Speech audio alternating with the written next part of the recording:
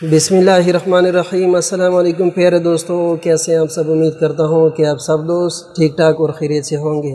प्यारे दोस्तों, मैं हूँ मोहम्मद शोएब ख़ान और आप देख रहे हैं हमारा यूट्यूब चैनल और Facebook page visa class room प्यारे दोस्तों, आज हम बात करेंगे जर्मनी टूरिस्ट वीज़ा के बारे में कि आप दोस्तों ने पाकिस्तान से ख़ुद कैसे जर्मनी का टूरिस्ट वीज़ा अप्लाई करके हासिल करना है और जर्मनी का टूरिस्ट वीज़ा हासिल करने के लिए वो कौन से अहम डॉक्यूमेंट्स हैं?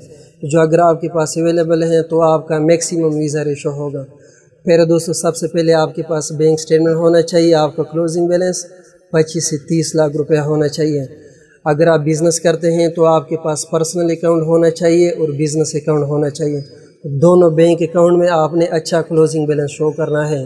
और इसके अलावा फिर दोस्तों, अगर आप जॉब कर दें तो आपके पास सैलरी बैंक अकाउंट होना चाहिए और उसमें आपने अच्छा सा क्लोजिंग बैलेंस शो करना है। फिर दोस्तों, अगर आप सैलरी पर्सन हैं तो आपने बैंक स्टेटमेंट ऐसे चलाने हैं। फॉर एग्ज़ाम्पल आपकी सैलरी आ रही महीने के एक तारीख से ले कर दस तारीख के दरमियान। दो लाख रुपया, दो लाख पचास हज़ार रुपये तीन लाख रुपये जितनी भी आपकी सैलरी है तो उससे आपने एक्सपेंसेस करने हैं। जितनी भी आपकी एक्सपेंस फॉर एग्ज़ाम्पल बीस हज़ार है, तीस हज़ार या पच्चीस हज़ार है या पचास हज़ार रुपये आपकी एक्सपेंसेस है महीना तो वो आपने एक्सपेंसेस करने और बाकी उसमें सेविंग छोड़ देना है।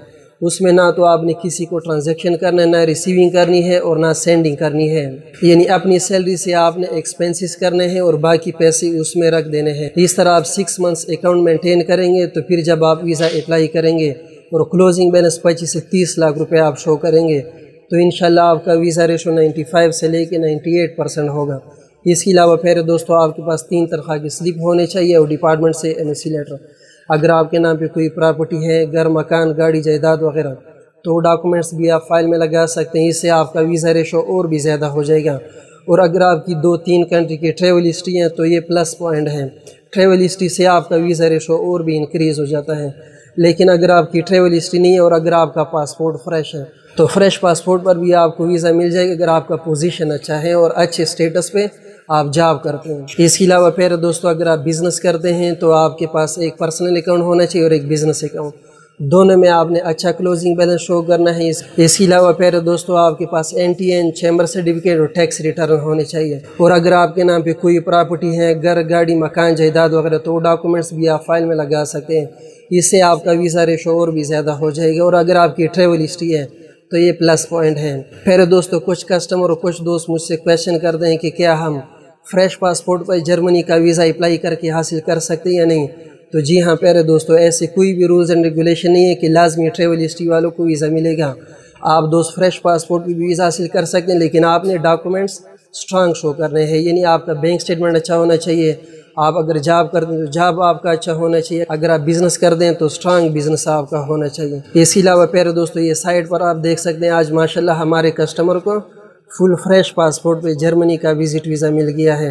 मैंने इस भाई का वीज़ा अप्लाई किया था, इसका फुल फ्रेश पासपोर्ट था और ये बिज़नेस करता है। इसके दो अकाउंट थे, एक अकाउंट में इसका पच्चीस लाख क्लोजिंग बैलेंस था और एक अकाउंट में इसका तीस लाख रुपए क्लोजिंग बैलेंस था।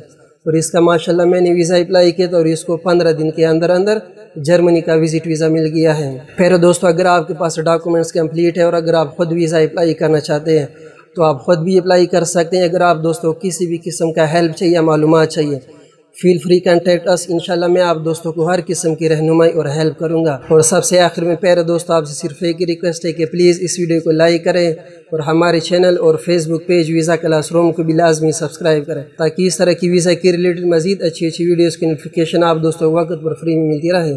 सो प्यारे दोस्तों, मिलूँगा आप दोस्तों के साथ एक और नेक्स्ट मालूमती और अच्छी वीडियो में। तब तक के लिए अपने मेज़बान मिस्टर मोहम्मद शोएब ख़ान को इजाज़त दीजिए। अपना ढेर सारा ख्याल रखिएगा, दुआ में याद कीजिएगा। अल्लाह निगहबान